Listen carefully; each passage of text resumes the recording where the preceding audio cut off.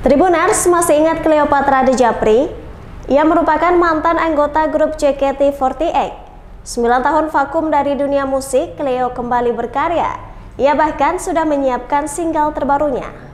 Pada November 2012, Cleo memutuskan untuk hengkang dari JKT48.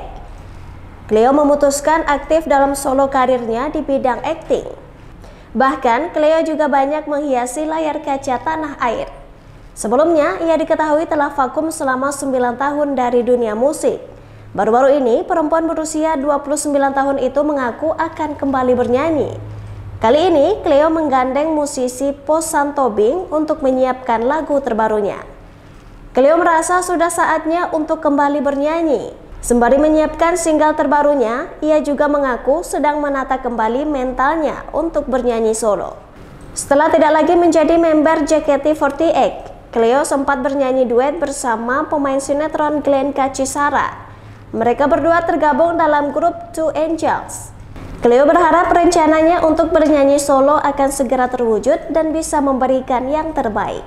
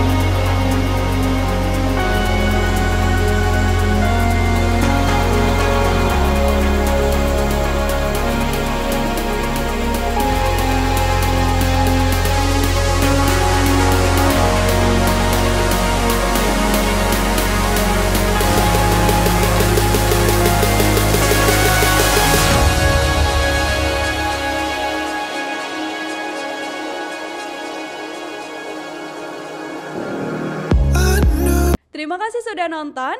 Jangan lupa like, subscribe, dan share ya.